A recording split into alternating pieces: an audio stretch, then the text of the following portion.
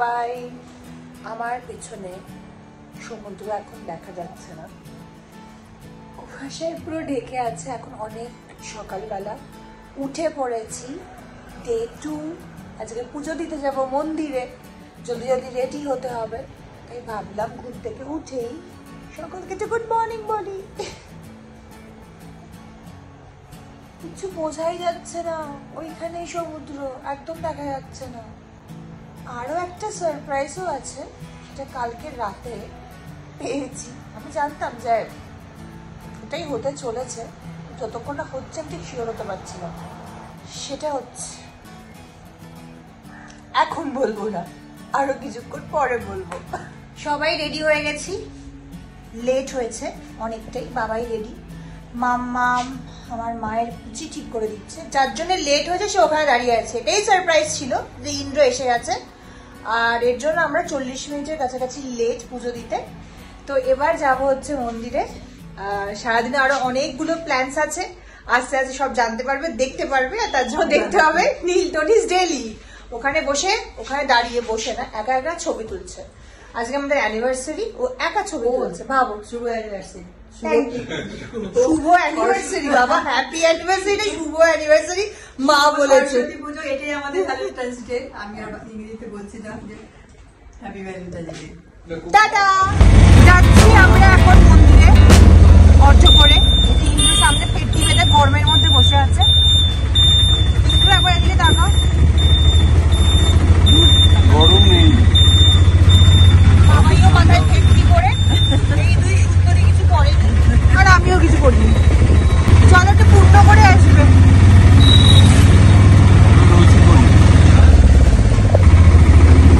চলো যাই মন্দিরে তো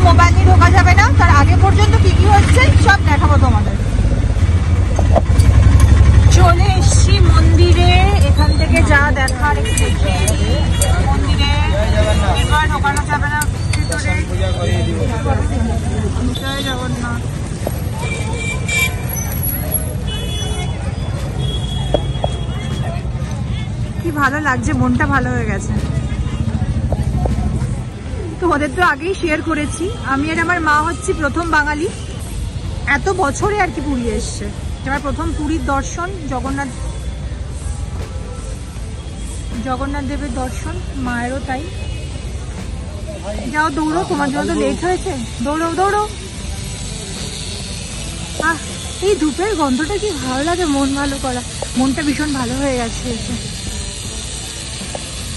তিন বছরের ঝগড়াতে আমাদের পুজো দিতে এসছি তাই তো ইন্দ্র? আর যাদের আমি আরও ওর সাথে লাইফ লং ঝগড়া করতে পারি এটাই আমার মনের কামনা এবং বাসনা। ঠাকুর তুমি দেখো যাতে ইন্দ্রর লাইফটা আমি এভাবেই শেষ করতে পারি। কিছু বলবে?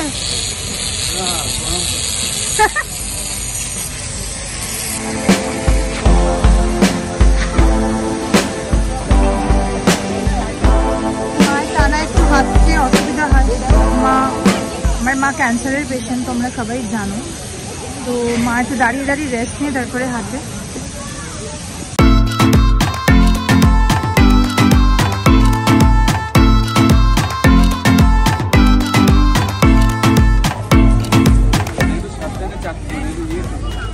ঠিক আছে তুমি আগে আগে যাও আমি দেখে হাই অগ্নি মনো ওই যে বসে আছে। অগ্নি, এই যে, কি সুন্দর লাগছে ওকে দেখতে। তুমি তোমার ফোনটা আর বার করো না, তোমার চশমা আছে, ফোন আছে, কিছু একটা নিয়ে দৌড়লে পরে দেখতে হবে না। ওরে বাবা, কত ভিড়।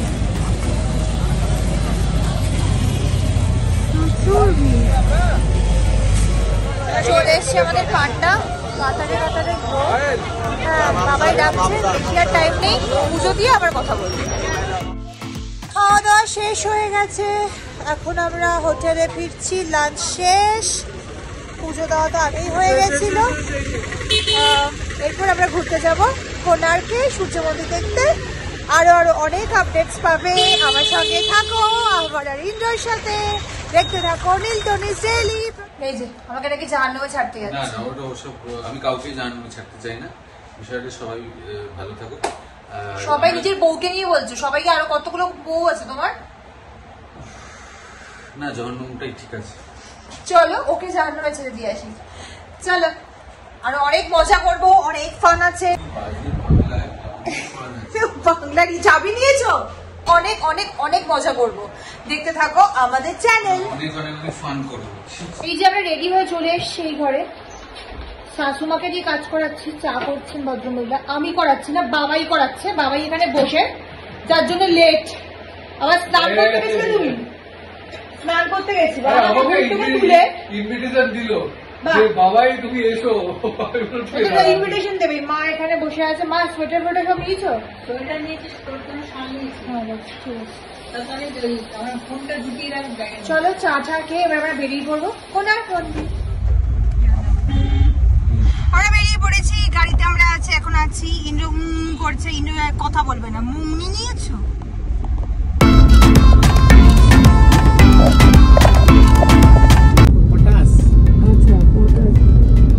পটাশ আছে ঝাউ আছে আর কাজু আছে।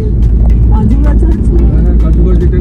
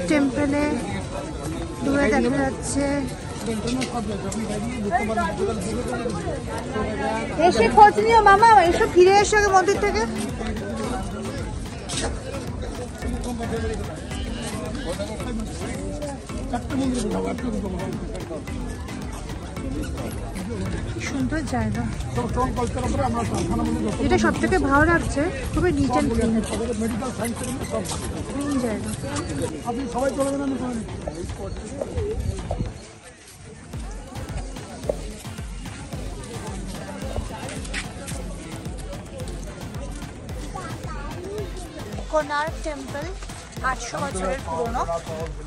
আমরা সেখানে এখন ঢুকছি। চলো দেখি ভেতরে আরও কি আছে। আপনি যেখানে দাঁড়িয়ে আছে এই হচ্ছে কোনার্ক সূর্য মন্দির। এই জায়গাটাকে কোনার্ক কেন বলা কোন মিনস জমেট্রিক আইডিয়া অর্ক সূর্য। সংস্কৃতি ভাষায় বলে সূর্যকে অর্ক দেয়। বুঝতে পারলে? না বুঝে জিজ্ঞেস করব আমি।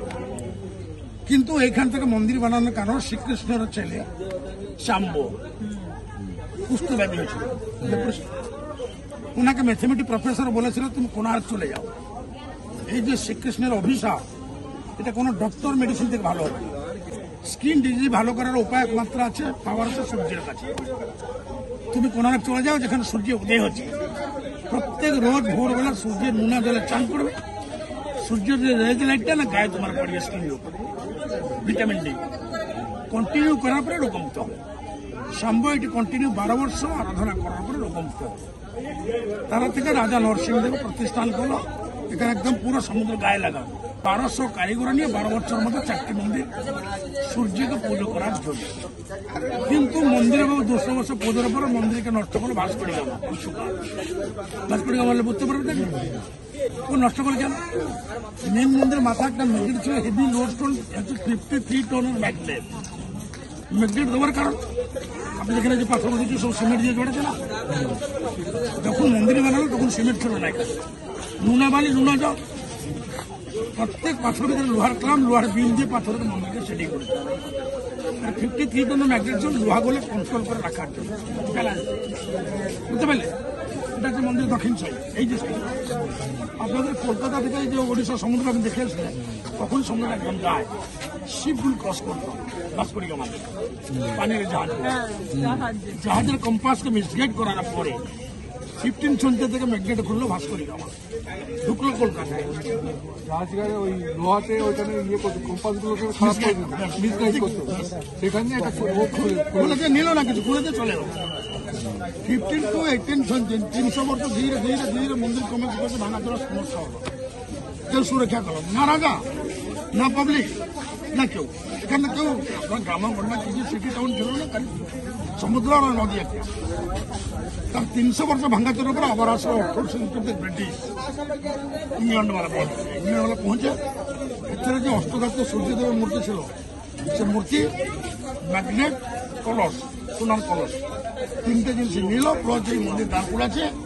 ওনার ভিতরে উনিশশো তিন থেকে বালুয়ার পাঁচ দিয়ে চাপা দিয়ে। কেন? দেখুন তিনটে মন্দির ভেঙে চুরে নষ্ট হয়ে গেছে। আর একটা মন্দিরটা ম্যাগনেটে খুলবার পর পাথরগুলো পড়েছে। যদি মন্দিরটাকে ভেতরে কোনো চাপা না দেওয়া যায় যতটা বেঁচে তাও ধসে যাবে। তার জন্য উনিশশো তিন থেকে বালু পাথর দিয়ে চাপা দিয়ে চলে গেছে এটা কোনো মতো দেখতে পাচ্ছে। এটাই ভালো। বালুপত্র চাপা দিয়ে কতটুকু চাপা দিয়েছে পুরোটা টপটুকু বটম। পুরো পুরো সলিড ভেতর থেকে পুরো সলিড solid। এইটাই যে জি টোয়েন্টি মিটিং হয়েছিল আপনি দেখেন যে বড় বড় লাগিয়েছে। যে মোদি জি টোয়েন্টি মিটিং করেছিল দিল্লি থেকে। তারপরে অর্ডার করছে এটা যে বালু পাথরে বেরোবে একশো কুড়ি বছর চাপা আছে এটা খুলবে। মোদি অর্ডার করছে? খুলে দেবে। খুলে দেবে ট্রেন লাগিয়ে কাজ স্টার্ট হয়ে গেছে। কিসে তোলা হবে? খোলার পর? খুলে বলছে রিপেয়ারিং করবে ভেতরটা পাবলিক মানে ডিমান্ড করছে ভেতরে যাবে দেখতে এখন ভেতরে কি কেউ যেতে পারেনি একশো কুড়ি বছর। বলছে তিন বছর তিন বছর লাগবে থ্রি ইয়ার্স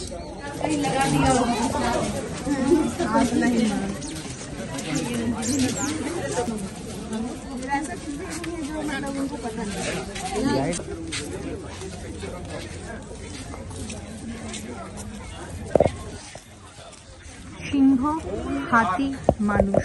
অহংকারকে বর্জন করে তারপর মন্দিরে ঢোকো। ভগবান ভক্তি চায়, অহংকার না। আটশো বছরের পুরনো মন্দির, কি সুন্দর কারুকার্য, বাবা। দারুণ।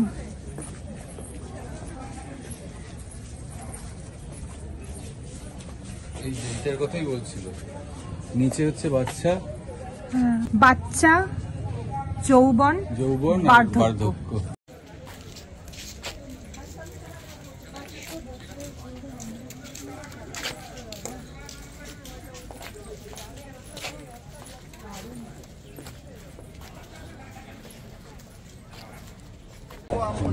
আর একটা জিনিস দেখেন এই যে গেটটা দেখেন না?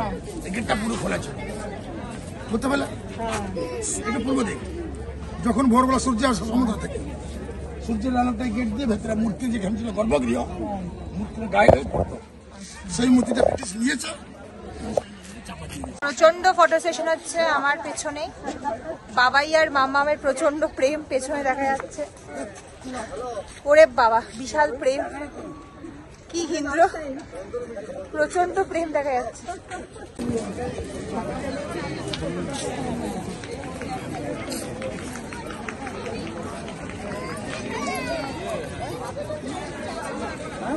এই যে সেই সূর্যের চাকা সপ্ত ঘোড়ার রথ সাতটা ঘোড়া। চারটা ঠ্যাং এক দুই তিন চার চারটে ঠ্যাং চারো সাতটা ঘোড়া কত চারটা ভাঙা চোরা এক দুই তিন চার সব ভেঙে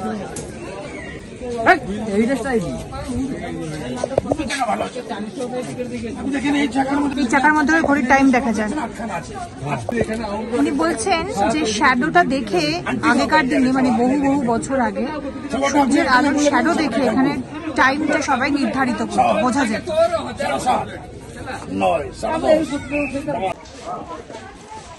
সেইটুকুনি বুঝতে পারছি, তোমাদের সাথে শেয়ার করছি। অনেক ইতিহাস। কি সুন্দর না।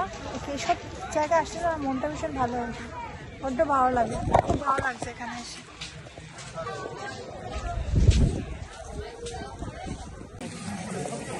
কিছু এই সূর্যের চাকা যেটা, সেগুলো ভালো আছে। যেহেতু উনি বলছেন সমুদ্র একদম কাছে, নোনা হাওয়াতে নষ্ট হয়ে গেছে। স্টোন ক্যান্সার বলছেন। সাড়ে সাত। ড্রাগন দাস সব সাড়ে সাত। ছয় সাড়ে সাত। নয়। নয়। সাড়ে দশ হ্যাঁ। বার হ্যাঁ। হ্যাঁ। তিন। তিন। সাড়ে সাড়ে চার। এক একটা বল তিন মিনিট এটা ভোর ছয় না সাড়ে ছয় দাঁড়ান। দেখতে সাড়াটা কোথায় বল হ্যাঁ হ্যাঁ হ্যাঁ। দেখেন এইখান থেকে আছে হ্যাঁ এক দুই তিন চার পাঁচ ছয় সাত আট নয় দশ। দশ। তিরিশ। তিরিশ। তিরিশ মিনিট। দেখেন হ্যাঁ। Five o'clock. হ্যাঁ ফাইভ ফাইভ হ্যাঁ এখন একদম সত্যি পাঁচটা পাঁচ বাজে। রাজা নরসিংহ দেব তাই তো? স্ত্রী অর্ধেক পাথরটা ভেঙে গেছে। জিরাফ দেখতে পাচ্ছি জিরাফ? এই যা। এই রাজা রানী মন্দির তৈরি করেছে। বসে রাজা এই যে এই চাকাটা দেখছে না? জি টোয়েন্টি মিটিং হয়েছিল। দিল্লি থেকে। মোদি। এবারে যেটা হলো। এই দেখিয়েছিল এই চাকাটাকে দেখিয়েছিল। মোদি দেখিয়েছিল। তিনি বলছেন যে মোদিজি এই চাকাটা সবাইকে দেখিয়েছিলেন এই কোনারকের চাকাটা এবং নতুন দশ টাকার নোটেও নাকি এই কোনারক টেম্পলের চাকাটা রয়েছে সিম্বল।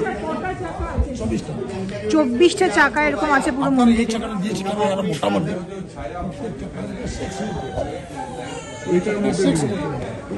এখানে এই যে মূর্তিটা আছে উনি যেটা বলছেন খুবই সাইন্টিফিক আগেকার দিনে কীভাবে ট্রিটমেন্টটা হতো সেটা হচ্ছে যে বাচ্চা প্রসব করার পর আগুন দিয়ে স্টেরিলাইজেশন সেই শেড দিয়ে সেটাকে ঠিক করা সেগুলো উনি বলছেন যে বলুন